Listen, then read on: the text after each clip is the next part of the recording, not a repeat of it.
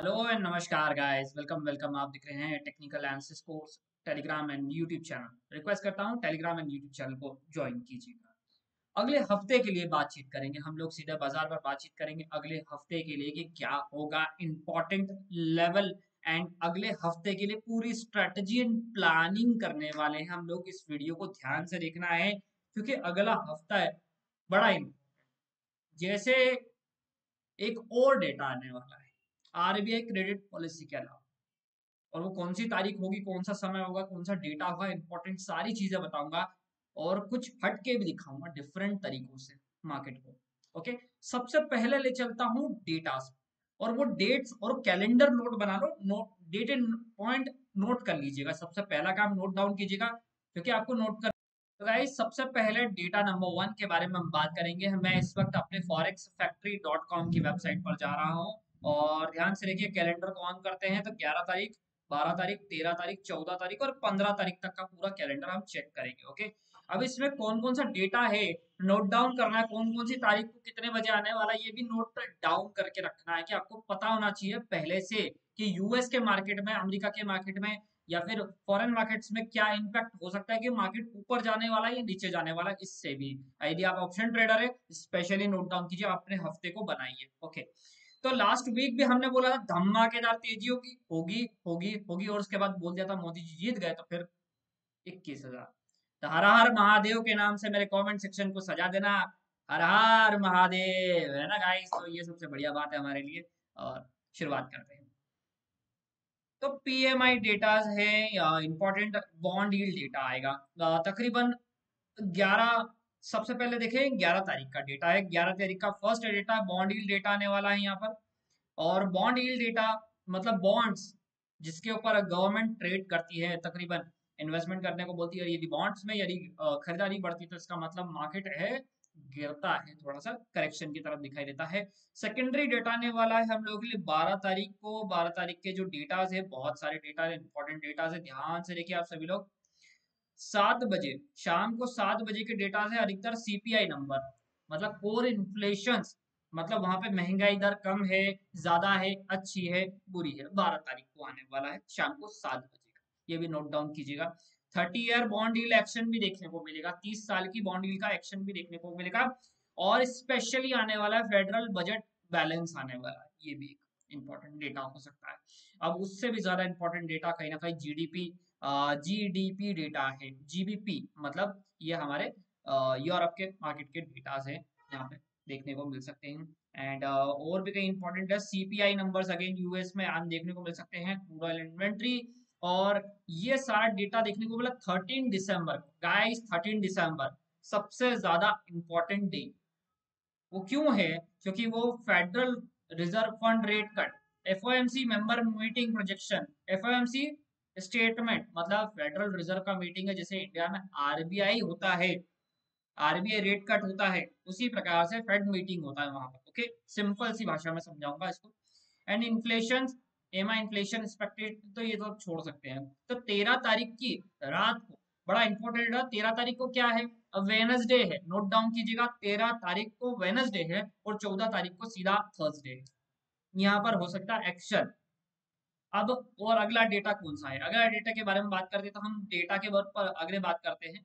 तो crude oil inventory वगैरह सब एम्प्लॉयमेंट निकल जाता है। चलो ठीक है, चौदह का भी निकल गया और ये पंद्रह हमारा वीकली हफ़्ता क्लोज होता हुआ नज़र आ रहा है। तकरीबन यहाँ पर भी बाकी सब अच्छा ही नज़र आता है, यहाँ पर तो ठीक ठाक है। मतलब तेरह तारीख बड़ी इंपॉर्टेंट सबसे ज़्यादा इंपॉर्टेंट तेरह तारीख का डेटा आगे बढ़ते हैं। निफ्टी और bank Nifty weekly chart A I prediction algorithm prediction सीधी सी बात बात करूँगा तो सबसे पहले देखो, मैं एल्गोरिदम को हिडन कर रहा हूँ। एल्गोरिदम आप लोगों के लिए मैं हिडन कर दिया है पूरी तरीके से। यहाँ पर कोई एल्गोरिदम नहीं है। एल्गोरिदम का प्रिडिक्शन लेके चल रहे हैं हम। एल्गोरिदम हमारा एआई वाला है ओके जो हमको फ्यूचर का प्रिडिक्शन देता है। लास्ट टाइम आप लोगों को याद होगा मार्केट में बड़ी गिरावट के बारे में बोला था और वहाँ से एक बड़ी गिरावट आई भी थी। नोट डाउन कीजिएगा, बड़े इंपॉर्टेंट लेवल्स के। तो सबके सामने इस वक्त मैं नोट जो डेटा लेके चल रहा हूँ, वो बैंक निफ्टी का। First of all bank Nifty, ठीक है? तो बैंक निफ्टी पर मैंने ज़्यादा कुछ दिमाग नहीं लगा रहा सिंपल तरीके से, बहुत ही ज़्यादा सिंपल तरीका, ये तरीका आपको भी पता हो शायद आप लोगों ने भी लगाया होगा। मगर इस तरीके में आप लोगों ने कभी भी एक चीज़ मिस करते हो। क्या करते हो? आप कैंडल स्टिक को देखते हो। हमेशा क्या? कैंडल स्टिक को और मैं हमेशा किस चीज़ को देखता हूँ? देखो लुक एट दिस लाइंस को देखता हूँ। तो लाइन से मुझे डेटा समझ में आता है कि मार्केट में इस लेवल के करीब करीब मार्केट जब भी जाता है तो यहाँ पर एक सेलिंग दिखाता है। आपको यहाँ पे मैं मार्किंग करके तो चलता हूँ फटाफट फटाफट। तो यहाँ पर एक सेलिंग आ गई थी। मार्केट में क्रैश आया था इसके बाद। मार्केट में फिर से टॉप लेवल बनने की तैयारी कर रहा है यहाँ पर कहीं ना कहीं और बहुत ज़्यादा ऊपर आ चुका अचानक से जिसके कारण भी मुझे प्रोजेक्शन लगता है कि मार्केट में ये बाइंग सपोर्टिंग लेवल है यहाँ पर दिखाई देते हैं इस तरीके के और ये बाइंग सपोर्टिंग लेवल दिखाई देते हैं यहाँ पर भी। तो मुझे लगता है कि मार्केट को एक बार नीचे आना ही चाहिए कंपलसरी मूवमेंट के तौर पर। ध्यान से देखिए प्रोजेक्शन में क्या दिखाई दे रहा है कि 24 बार तकरीबन इस फेब्रवरी के सीरीज़ में जनवरी और फेब्रवरी के सीरीज़ में यदि बैंक निफ्टी 44,000 के नियरेस्ट आता है तभी वहाँ से निचले स्तरों से एक रिकवरी देखने को मिल सकती है, ये वाली। और प्रोजेक्शन में, मैं नहीं बोल रहा हूँ मार्केट बोलता है गाइस आपके सामने प्योर प्राइस एक्शन है फ्यूचर का ओके नोट डाउन कीजिएगा। ये नोट डाउन कीजिएगा, क्या है? फ्यूचर का प्राइस एक्शन और ये वीकली चार्ट का एक दो दिन का नहीं है, पूरे एक हफ़्ते का, कई हफ्तों का सीरीज़ का। एक हफ़्ते की एक कैंडल पर चल रहे हैं, इस वक्त हम लोग। ध्यान से देख सकते हैं इस तरीके से।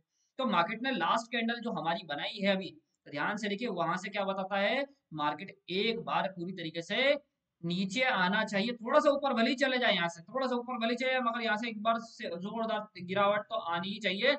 फिर नीचे जाने के बाद एक सपोर्ट बनाना चाहिए, उसके बाद मार्केट में एक बढ़िया तेज़ी लेनी चाहिए, इस तरीके का प्रोजेक्शन निकाले था फ्यूचर का।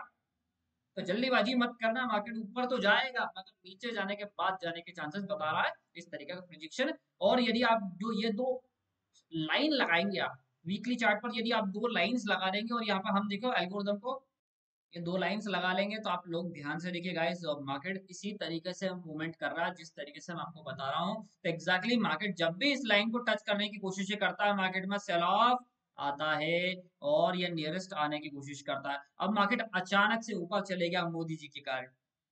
थ्री स्टेट्स में हमने जो सोचा नहीं था, वो हो गया है। अब जो चीज़ हो चुकी है, वो तो हमको पता है कि मुख्यमंत्री कोई भी बने, हमको फ़र्क नहीं पड़ता इस बात से। तो मार्केट में करेक्शन तो बनता है यहाँ से, सीधी सी बात है। बगैर करेक्शन के किसी भी चीज़ को ऊपर जाने का हम सलाह नहीं देते। यदि ऐसा मार्केट में यदि जब मार्केट ऊपर जाता है, ज़ोर से, इतनी ज़ोर से ऊपर जाता है तो हम कभी भी नहीं सलाह देते कि ऊपरी स्तरों पर बाय करने की कोशिश करो। बहुत सोच समझ के अपनी क्वांटिटी को यूज़ करना है अभी। यदि मार्केट टिका रहे मार्केट टिका रहे, अपने लेवल पर तो मैं आपको यहाँ पर ज़्यादा खरीदारी करने की सलाह नहीं दूँगा क्वांटिटी करने की सलाह नहीं दूँगा, जब तक मार्केट नीचे ना आए। यहाँ पर, और यहाँ पर एक बेस ना बनाए, इसके बाद पूरी तरीके से ऊपर जाने की सलाह दे सकता हूँ, ये तरीके का जब भी देखो, ये भी चीज़ सही है, आप लोग बोले हो राकेश जी, टमाटर जब भी सौ रुपए, डेढ़ सौ रुपए किलो होता है तो क्या बोलते हैं? हमारे माथे पे बेवकूफ़ नहीं लिखा, भैया, हम इतना महँगा नहीं खरीदेंगे। तो मार्केट भी यही बोल रहा है, इस वक्त मुझे लगता है कि, भैया, हम बेवकूफ़ नहीं बनना चाहते मार्केट में अचानक से एक रैली आ गई है जिसका प्रयोग कहीं ना कहीं एफ़ नहीं कर पाते। एफ़ की बड़ी सेलिंग भी आ सकती है तो थोड़ा सावधान रहने का मामला बनता है कहीं ना कहीं, इस तरीके से प्रोजेक्शन में। दूसरी बात करें बैंक निफ्टी में तो बैंक निफ्टी वीकली चार्ट में भी तकरीबन यही दिखाई देता है। प्रोजेक्शन में भी दिखाई देता है कि मार्केट इस रेंज को जब तक ब्रेक नहीं करता, कौन सा? और ये रेंज हाँ ये बात सच है कि मार्केट पचास हज़ार आएगा। हाँ ये बात सच है, आएगा अगर इतनी जल्दी आ जाएगा? वी कांट हम सोच नहीं सकते इतनी जल्दी आ जाएगा। क्यों आएगा? इसका कोई रीजन नहीं मिल रहा। फेड मीटिंग के वजह से यदि मार्केट में इतना बड़ा मूवमेंट आता तो एक हो सकता है पॉसिबिलिटी आ जाए। बट वो भी नहीं आया ना तो मार्केट में सोच लेगा करेक्शन तो कंपलसरी है ही, सही इस जगह पर। तो यहाँ पर एक भी चीज़ मुझे क्लियर कट लगती है। एल्गोरिथम यही चीज़ें बोलता है। अब बात करते हैं निफ्टी के बारे में। तो निफ्टी का व्यू क्या है? तो ध्यान से देखिएगा इस वक्त निफ्टी का नॉर्मल चार्ट आपके सामने लगा कर रखा है एक वीक की फ्रेम का। और ध्यान से देखिए, यहाँ पर मैंने चार्ट पैटर्न बना के रखा हुआ अगेन आप और ये आप लोगों को मैं बता देता हूँ लास्ट टाइमिंग जब बॉटम में डिप आया था, याद है आप लोगों को डिप आया था राकेश जी कौन सा वाला? तो ये बड़ा इंटरेस्टिंग था, देखो नोट डाउन करना ये वाला डिप आया था तो मुझे पहले से पता था कि मार्केट बाउंस बैक कर जाएगा क्योंकि वो retesting testing level retesting level note down कर लो प्रैक्टिकली देख लो। और ये बात आपको स्क्रीनशॉट पे भी दिखाई देगी प्रैक्टिकली आप भी लगा दोगे लाइन ट्रेड लाइन लगा दोगे ताकि जी, बात तो सही बोल रहे हो यार। आपकी बात में तो है दूसरी कंडीशन हमने तो पहले ही बोला था कि मार्केट इक्कीस हज़ार टच हो जाएगा। अब इक्कीस हज़ार के ऊपर नहीं बोल पा रहे हम लोग भी कि भैया इसके ऊपर जाना चाहिए ज़्यादा। तकलीफ़ तो ये इक्कीस हज़ार छह सौ इक्कीस हज़ार सात सौ एक सपोर्ट मानते हैं हम लोग भी। और यदि सपोर्ट नहीं टूटता तो मार्केट में सेल ऑफ़ भी नहीं आएगा मुश्किल। तो जल्दीबाजी नहीं करनी चाहिए। दूसरा काम ए आई प्रिडिक्शन क्या बोलता है? Finally A A I prediction बोलता है मार्केट में कहीं ना कहीं एक एक आधी बार और थोड़ा सा मार्केट ऊपर जाने की कोशिश कर सकता है यहाँ पर।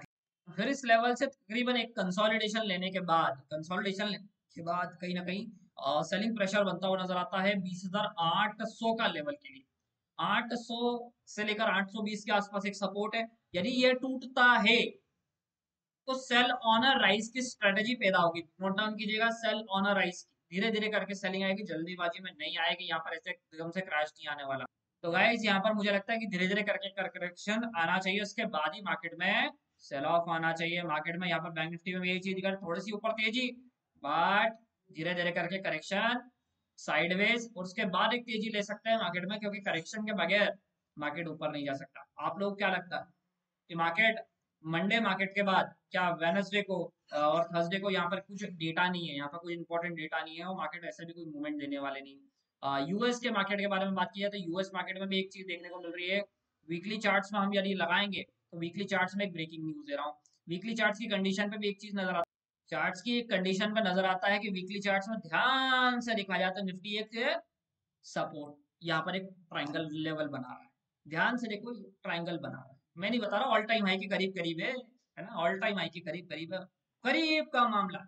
और यदि ये करीब का मामला यदि चूक गया तो मार्केट में आएगा फिर से क्रैश अब डाउजोन्स फेड पॉलिसी में क्या करते हैं ये लोग? अब तकलीफ़ वाली बात ये कि डाउजोन्स की जो कैंडल बनी है ना, वो कौन सी बनी है? डोजी जैसी बनी हुई है। बिल्कुल आप लोगों को देखोगे पिन बार जैसी दिखी है, बिल्कुल छोटा सा बॉडी बनी हुई है मार्केट वहीं जाके क्लोज हो गया मतलब मार्केट ये बोल रहा है कि हम बाय तो कर रहे हैं, मगर ज़्यादा बड़ी बाइंग नहीं कर रहे। सेम कंडीशन मार्केट यूफोरिया हो चुका मुझे लगता है यहाँ पर।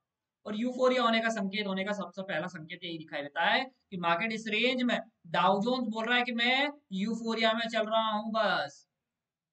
दूसरी कंडीशन वहाँ पे भी चुनाव आने वाले हैं। आप कौन जीतेगा पता नहीं, इसके बाद की कंडीशन बाद में देखेंगे। बट ये हफ़्ता मुझे लगता है थोड़ा सा वॉलेटाइल प्लस नॉन वॉलेटाइल दोनों रहेगा। मतलब ये सब बोल सकते हो कि कभी वॉलेटिलिटी अचानक से देखने को मिलेगी, मगर मार्केट डेट पड़ा रहेगा। बहुत लंबे समय तक डेट पड़ा रहेगा। प्रीमियम्स खाएगा। अब यहाँ पे सोच समझ के चलना। ज़्यादा प्रीमियम पे ट्रेडिंग नहीं करना। ट्रेडिंग सोच कर समझ के प्लानिंग करनी है कि यहाँ पर हमको जो क्वांटिटी लेनी बहुत कम कर देनी यदि आप हज़ार क्वांटिटी में करते हो ना तो आप उसको 200 300 100 में लेकर आ जाओ, शांति से बैठे रहो। क्योंकि जल्दीबाजी में करोड़पति बनने के साथ खाप मत देखो, क्योंकि अभी हाल ये पूरे नहीं होने वाले।